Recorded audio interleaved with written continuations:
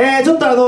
ー、僕らクリフエッジと言いまして、まあ、こんな見てくれなんですけれどもあのヒップホップという音楽を実はやっております、はい、で、えー、何ヶ月か前にですね栗木さんの情報をなんかネットでちょっと見ましてあのー、すごくいい意味でこんなバカな人がいるんだなって本当に俺すごく、えー、心をドシンってやられました。それでちょっと本当に勝手になんですけど曲を作らせてもらってで本当に勝手にちょっと送らせてもらっちゃってまあそんなちょっと流れがあり今日はちょっとこの誕生日であの初めてちょっとお会いできてここに参加できたことをちょっと本当に嬉しく思います、えー、ちょっと僕らで誕生日の曲っていうのは実はありまして、はい、えー、その曲を1曲ちょっと歌わせてもらいたいと思います。ではリブ大切なあなた。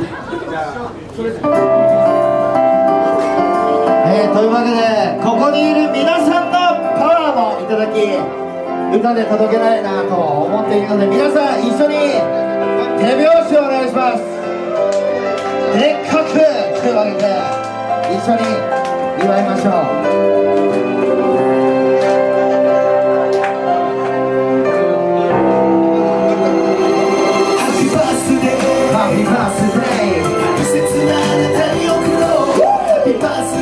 ハッピーバースデー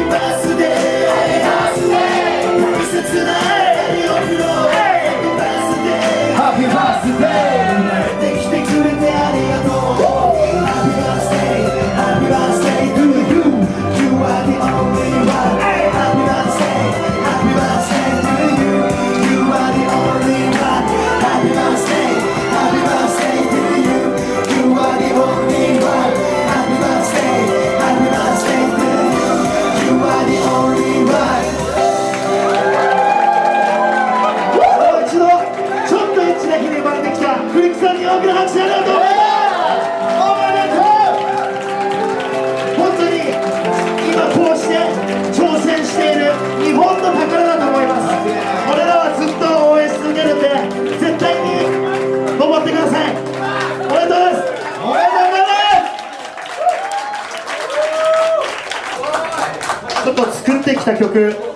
をちょっと。ちょっとお渡しさせてください。これフルバージョンでできたんで。これちょっとまだ全然本ちゃんネックとかじゃないんですけど栗木さん踊り曲を送ります。おめでとうございます。すいません長いことクリフェッツでした。ありがとうございました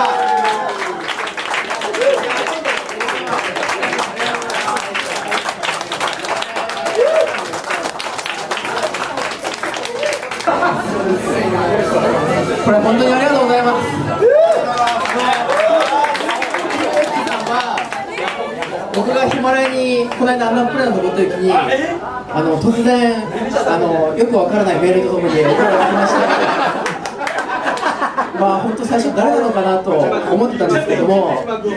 その曲を聴いて特に僕はノーリミットっていうあのやっぱ限界というのはあのこう自分が作ってるものだってそうじゃないんだっていうのをすごくあの僕はあの歌をあの聞いてでメンバーとかでみんなであの他の曲とかもみんな聞いて